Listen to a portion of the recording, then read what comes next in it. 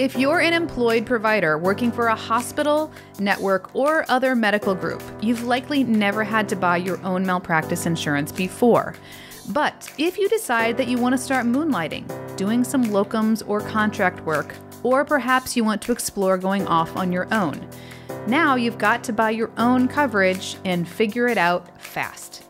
In today's episode, we're going to give you a crash course on malpractice insurance and give you the four key things that you need to know so that you can buy your own insurance policy with confidence.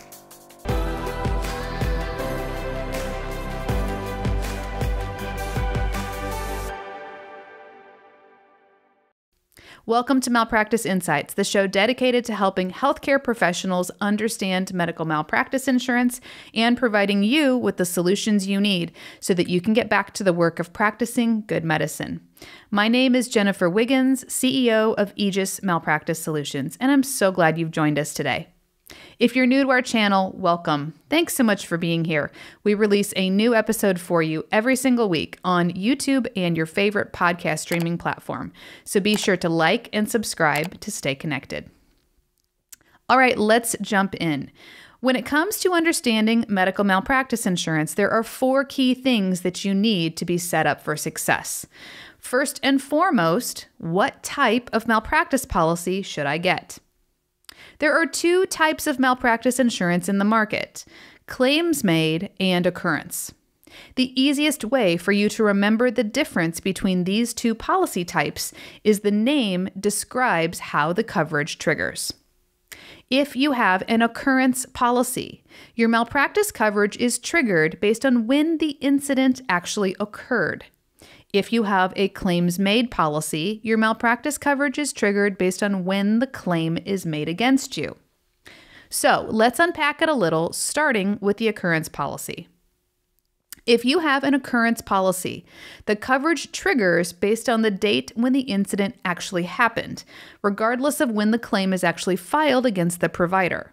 So, if a doctor treats a patient on January 1st, 2022, but the claim isn't filed for three years, the triggering date is the date that the incident actually occurred, which in this example would be January 1st, 2022.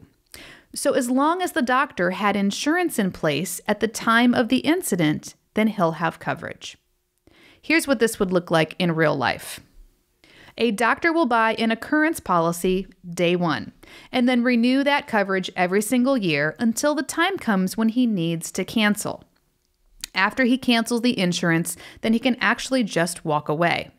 There's nothing else required at the end of an occurrence policy, meaning no tail insurance. He simply moves on.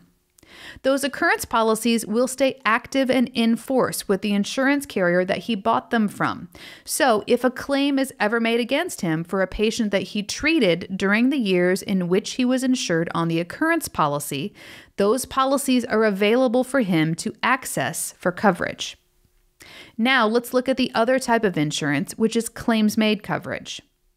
Claims made coverage triggers based on when the claim is made against the provider as long as the incident occurred during the coverage period and an active policy is still in place. The doctor will be covered for the incident. So here's what that would look like. A doctor will buy a claims made policy day one and then renew the coverage every year until the time when he needs to cancel. But once he cancels the insurance, he's not done. A claims made policy is really two policies in one. You have to carry the insurance while you're actively practicing, and then after you cancel it, you have to get a second policy. And this is called tail insurance. Your tail starts at your cancellation date and it extends your coverage into the future for any claims that may be made against you after you've already walked away from that policy. Why does a doctor need tail insurance? Because he must have an active insurance policy in place in order for him to be covered for a claim made against him, even if it's years down the road. So, when a doctor buys tail, that means he has an active policy that will cover him into the future for any claims that may still be made against him for services that he rendered in the past.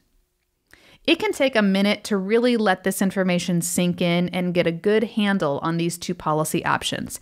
So I would encourage you to go back and check out a few of our other episodes after this one to learn more. We've linked some really helpful ones for you here on the screen and also put them down in the show notes.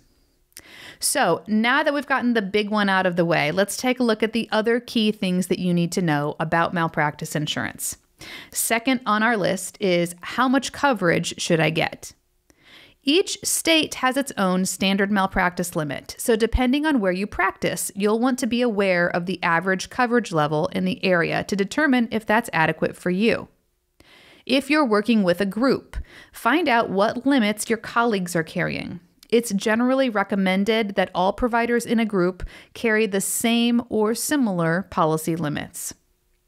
Another consideration for determining proper malpractice policy limits is your geographic area, your specialty, and your scope of practice. Metropolitan areas are generally more litigious and often have higher claim frequency and severity, so be mindful of that when choosing your limits. Also, consider your specialty and any unique or high risk procedures that you may be doing. Are you doing a large number of surgical procedures? More than the average surgeon?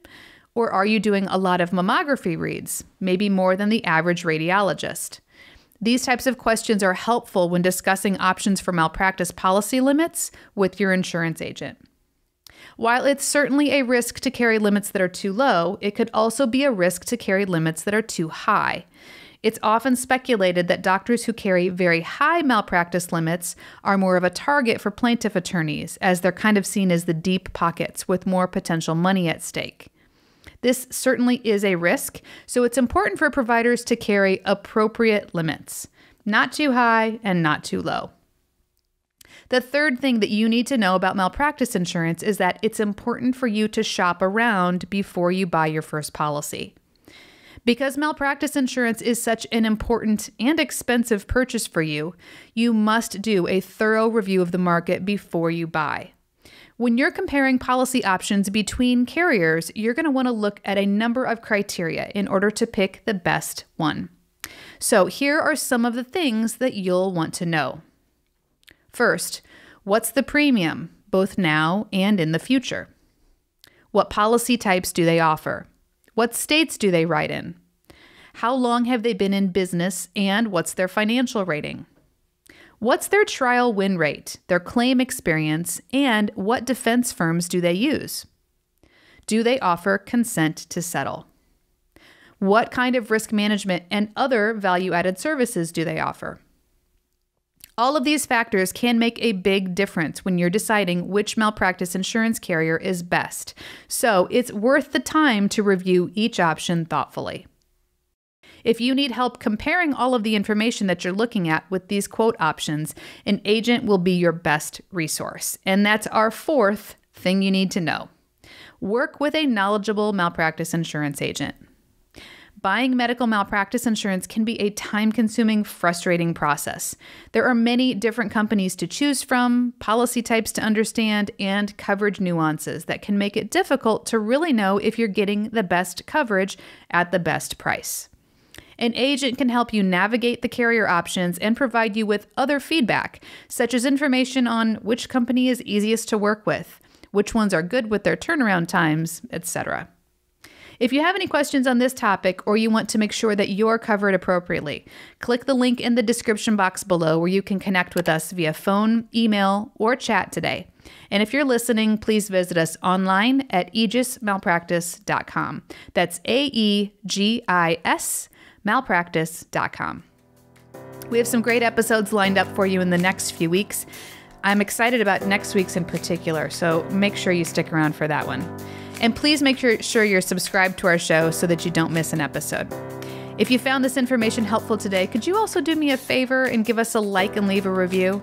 Your feedback and support really does help us to reach more people, and we're grateful for your clicks and your kind words.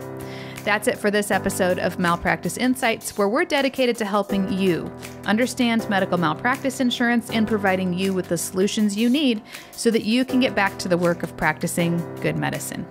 This is Jennifer Wiggins. Thanks for joining us.